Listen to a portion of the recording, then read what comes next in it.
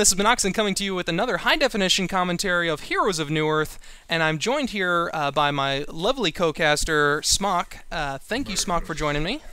No problem. Looking forward to it. Good, good. Yeah, I was actually given this replay um, by one of my doting fans. Now, I don't want to sound conceited, but uh, I was actually told that this replay is pretty epic, so hopefully we're in for a good match here.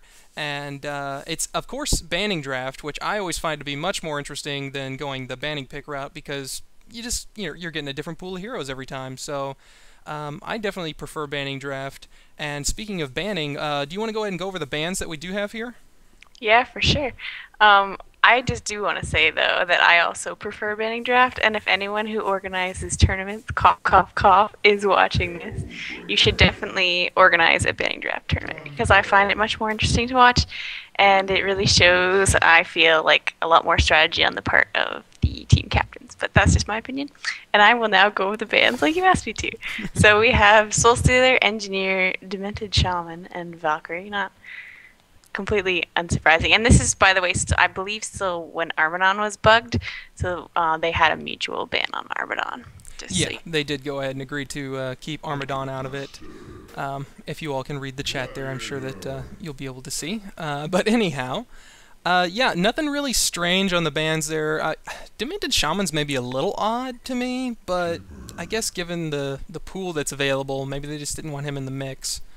But well, yeah, like he's he's a really good babysitter, and especially com- um, combined with uh, you can combine him with Madman Nighthound or Sandwraith, and I feel like they just wanted to get that out of the mix. And a lot of the time, you will see the the really good support heroes band. So yeah. Yeah, I was kind of actually thinking maybe with Demented out of the picture, we might actually see Accursed being thrown in as a babysit or something like that. But um, not sure if that. Oh, we might. Now Jack is just playing with me. He's jacking with me. But anyways, okay, what do we have? We have the Hellborn has four of their heroes picked out so far. So I will go ahead and touch on those. We have Tundra, Hellbringer, Gladiator, and Chipper so far, and looks like they might round it out with uh, the shadow pick of Puppet Master. But uh, just also noting that there are quite a few uh, well-known pl players in this matchup. We have Warden, of course, uh, General D, JCP Lord, uh, several members of XFIN here, and everyone is at least 18, 27 or higher, so should certainly be, you know, a, a match of skill.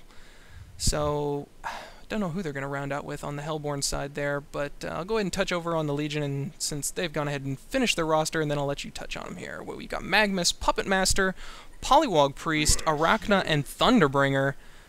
Hmm, that's an interesting lineup. What do you uh, what do you think, Smock? Well, this is why, again, why I absolutely love banning drafts. Is you just get weird lineups like this, and something that like you don't usually see in competitive matches.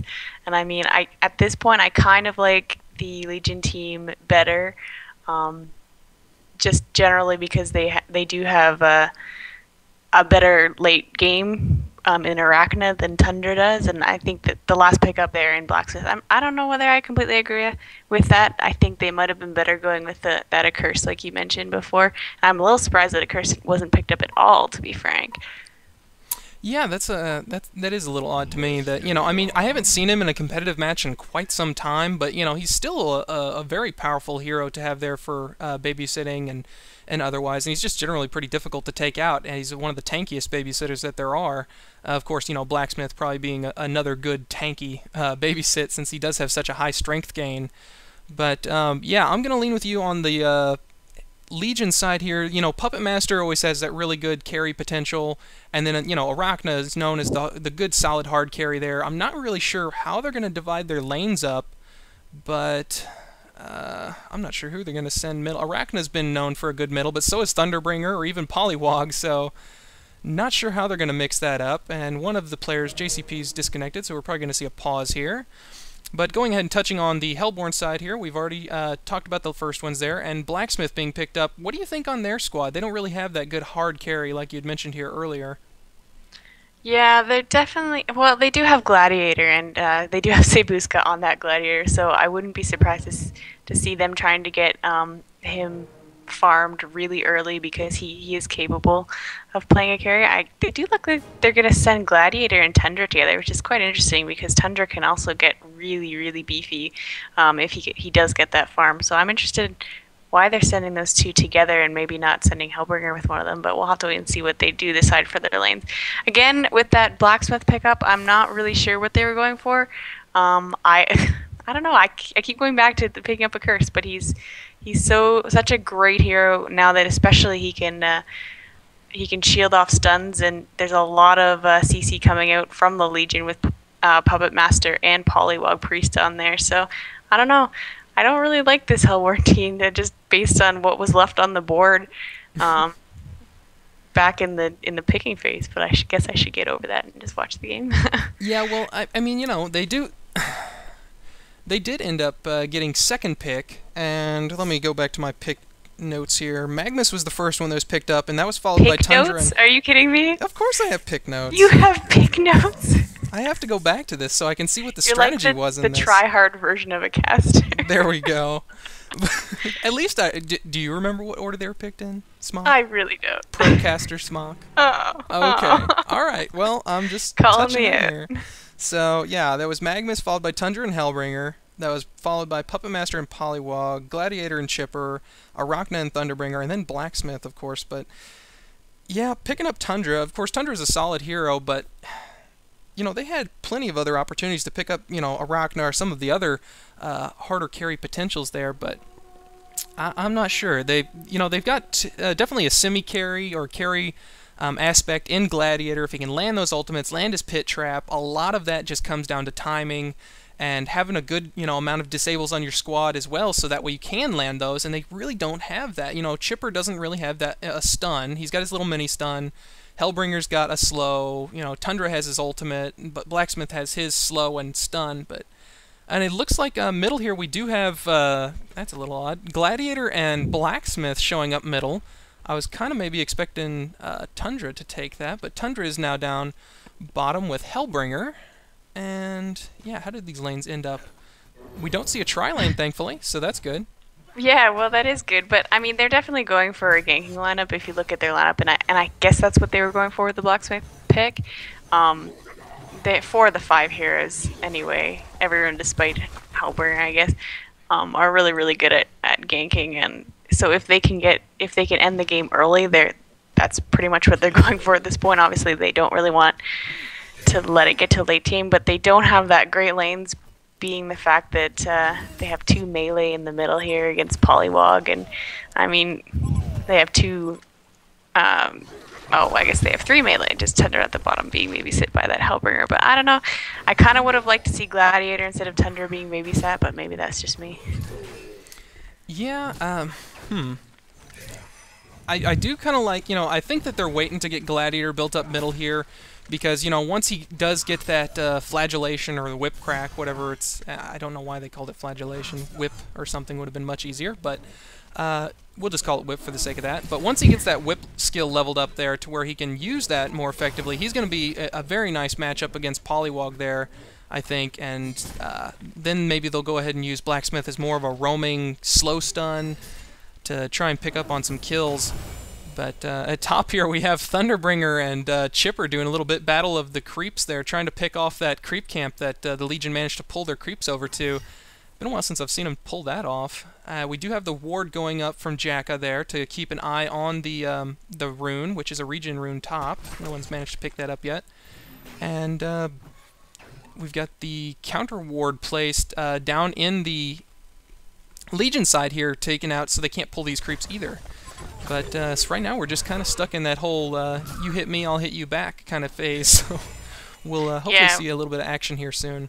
Um, Blacksmith and Gladiator is a very good combo, except no, unfortunate that Blacksmith has got that mana potion dispelled. But uh, yeah, with their double range stuns, that you can Polywog's going to have a difficult time in this middle lane going to versus one. So that's definitely why they did send those two together. Um, and Gladiator should have no problem getting at least a little bit of farm in that middle lane against Polywog. So we'll have to wait and see, but. Yeah, That's and he is, you know, Gladiator is currently leading uh, the creep kills so far with 15 and 2, and that's of course then followed by Arachna, who's doing well into top lane. And it looks like so far, as far as creep kills go, I'm thinking that it's pretty well tied up here. Just you know that of course, the people who are needing to get them are getting them, and I think that uh, with that combination they got middle, they are going to go ahead and win that over Polywog, at least for a while here, until he gets his wards to where he can use that more offensively to go ahead and take down that tower where they won't have that easy escape method. Oh, and we do Bottom. have... Dang it. Uh, we have Puppet Master getting ran down after taking down... Uh, which one did he take down? Hellbringer. Oh, did you see that dodge? Tundra uh, throwing out the piercing shards as Magmus perfectly timed his lava surge to dodge the damage from it uh, with the immunity there. Uh, very nice move. That probably would have killed him if he'd have gone ahead and landed those. And it looks like they are going to complain a little bit about, about that uh, in the uh, chat. Yeah, that was pretty epic. Um, yeah, I, I don't know what to say. That's just Warden all over just being a pro player right there. But yeah, Puppet Master did initiate, did initiate, excuse me, onto uh, Hellbringer there. Just was a little too close to the creep wave as as it died and was running backwards. So he, he got that he got that puppeteer's hold off. One thing that I do find a little bit strange, and I guess it's who do they have bottom down here? They have Puppet Master is just I guess using Thunderbringer is more of a, a babysit type thing here, you know, and he's got the wards, he's playing the the support role here it seems, and uh, just I, I, I don't know, I'm just not familiar with seeing a, a nuke babysitter uh, being played here to assist that Arachna getting her kills. It might be the case of just a player superiority at this point. Um, I don't know who Jacka is, honestly. Um, I don't know if you know who he is. Uh, no, I think he was one of the the higher 1800s, but yeah, he's not in a clan, I don't believe. Yeah, it so. might just be the fact that instead of Polywog going in with Arachna top, uh, JCP Lord just said, you know what, I want mid. So that's what I assume happened at this point. I'm, I'm JCP Lord, you're going top. Exactly, exactly. Usually what happens in these kind of in-house pub matches. So in-house pub, there's a contradiction for you. That's not. Yeah, well, every team you know has to I have mean. their ringers, so.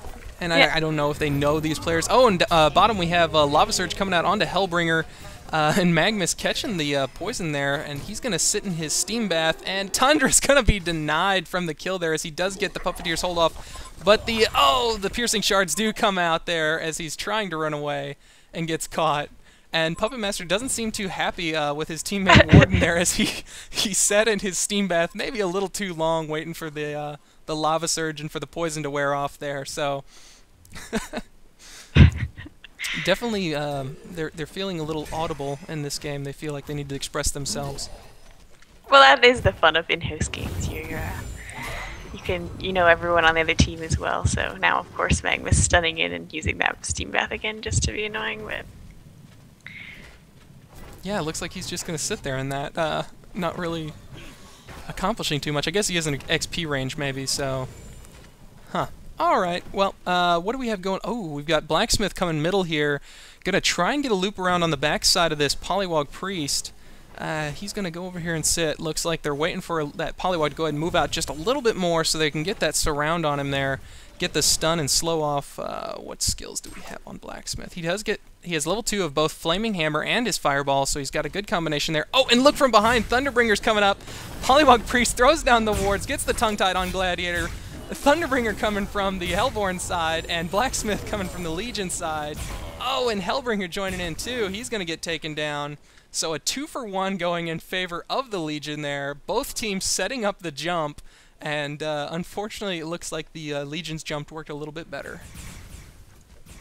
Yeah, I always love those double ganks in the middle lane. You see it actually more and more nowadays as people are moving around the lanes more.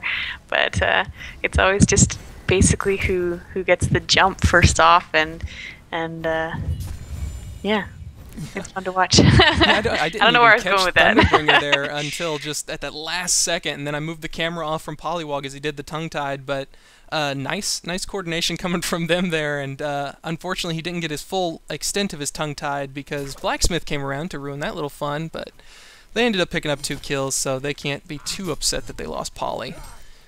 Especially since I guess Thunderbringer got that extra experience, so that'll be nice for him. Now he does have his level six ultimate or well, he's level 6 and he has his ultimate, therefore.